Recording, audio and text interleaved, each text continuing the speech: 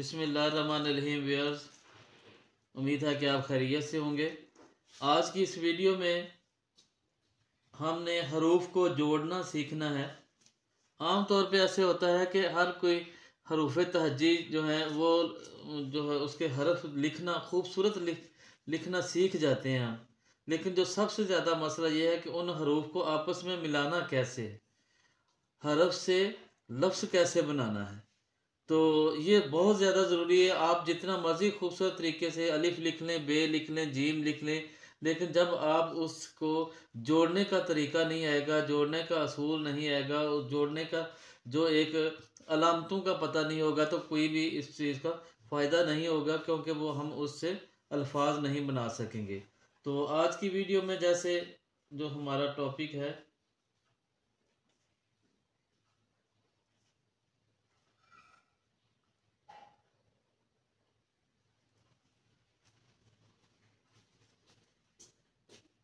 हरूफ को जोड़ना।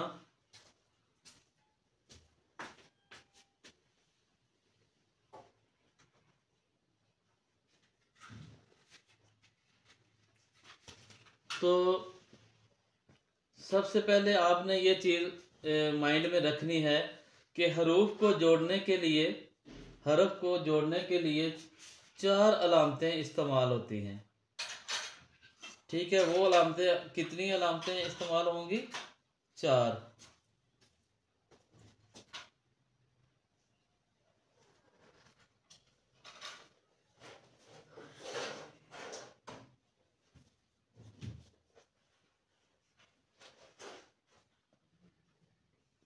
इसमें आपने देखना है कि एक तो है, वो जैसे इस तरह का जैसे यू शेप होती है, ठीक है?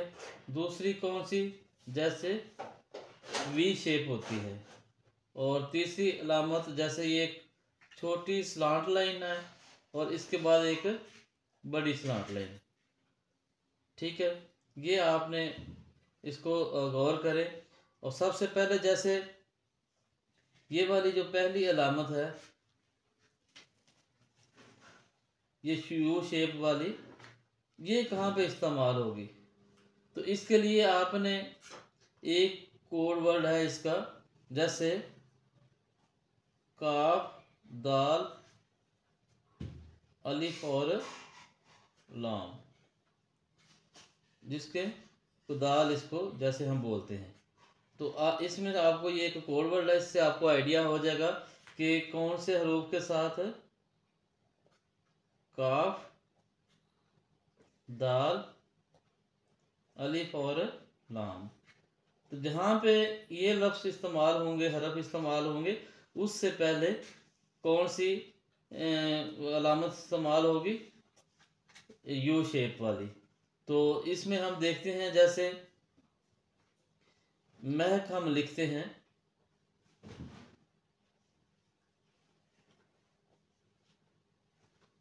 तो देखिए, काफ से पहले ये वाली जो शेप बनी है, ये हमने मीम, हे और काफ को मिलाया है तो ये हमारा कौन सा जॉइंट इस्तेमाल हुआ है? ये वाली जो अलामत है, ठीक है? इसी तरह जैसे हम बे अलिफ बा लिखते हैं तो यहाँ पे भी यू शेप वाली जो अलामत है, वो इस्तेमाल होगी। इस तरह जैसे हम मल लिखते हैं तो ये देखें ये वाली जो शेप है, ये इस्तेमाल होगी। ठीक है? इसी तरह ये आपने याद रखना है, इसका जो कोड वर्ड है, आपको सारा आइडिया हो जाएगा। इसके बाद आ जाएगा कि ये जो वी शेप है वी की अलामत है, ये किन अल्फाज के साथ इस्तेमाल होगी। तो इसका आपने देखना है कि जैसे बे है बे पे ते टे से। जो बे का ख़ानदान है, उससे पहले, जैसे ते से पहले, से से पहले, टे से पहले, कौन सी अलामत इस्तेमाल होगी? ये वी वाली अलामत, वी शेप वाली। जैसे हम लिखते हैं, नेमत, नून, आइन, मीम और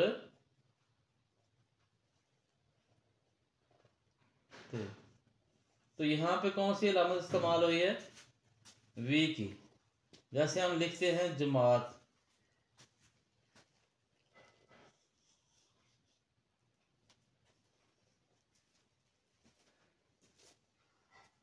तो ये देखें कौन सी अलामत इस्तेमाल हुई है? वी वाली। तो ये आपने गौर करना है। इसके बाद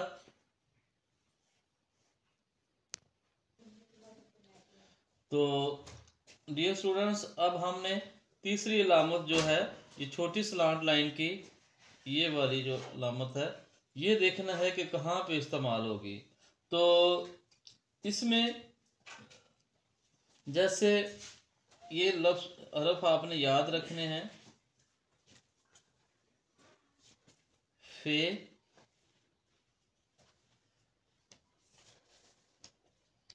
काफ और तुए नून वाव सीन और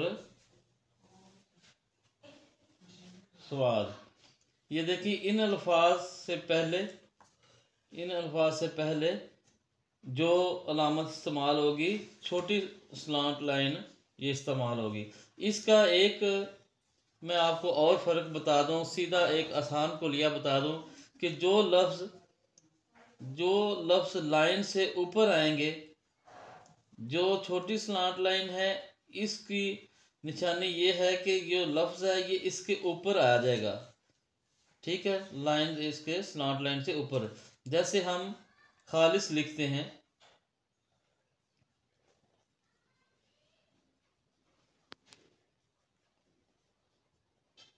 ठीक है। जैसे ये छोटी स्लांट लाइन, इसमें आपने देखना है कि जैसे हम लिखते हैं हलिफ हलिफ लिखते हैं।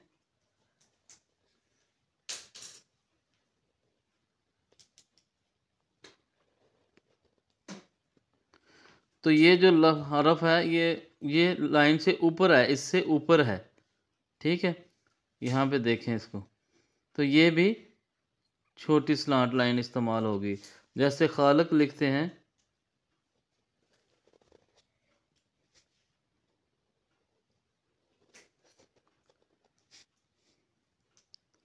देखें, लाम और काफ के दरमियान में जो इसका जॉइंट इस्तेमाल हुआ है, वो छोटी स्लांट लाइन है।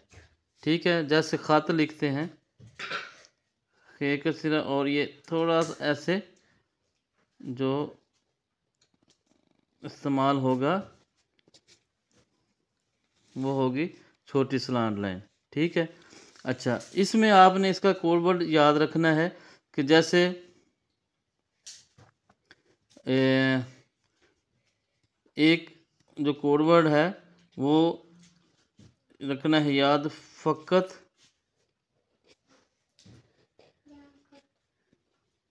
फ़कत नो सस।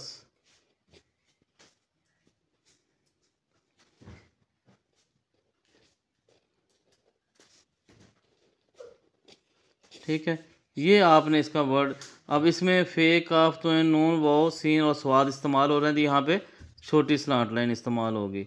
अब ये चौथे और आखिरी जो है अलामत, वो है बड़ी स्लांट लाइन। अब इसमें, इस स्लांट लाइन से हर लफ्स नीचे आएगा। जैसे इलम लिखते हैं, ये देखें, यहाँ पे स्लांट लाइन इस्तेमाल हुई और ये मीम सारा इसके नीचे आ गया, ठीक है? जैसे हम पढ़ते हैं, औज़ बिल्लाशता निर्रजीम अब जीम जो लिखनी है, यहाँ पे ये देखें, मीम जो है बिल्कुल नीचे आई है। इस स्लाट लाइन से। ठीक है?